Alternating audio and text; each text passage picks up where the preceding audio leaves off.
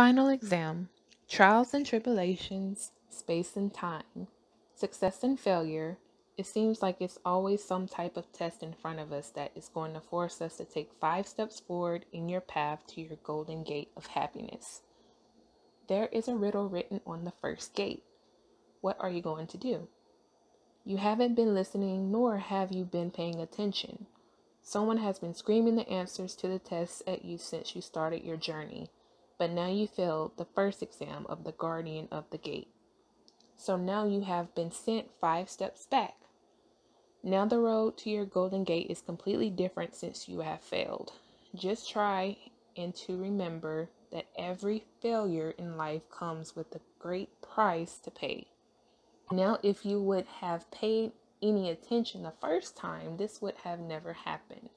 My friend, please don't make the same mistakes as you did before. God has given you the power to get through these trials and tribulations. Just listen, and all will be great. And the quest will finally be over, and you will be able to open that golden gate to what all humans are all fighting to get to success and happiness. Good luck on your studies, my friend. I have all the faith in you. Oh, one more thing it's okay to ask for help, only if you know.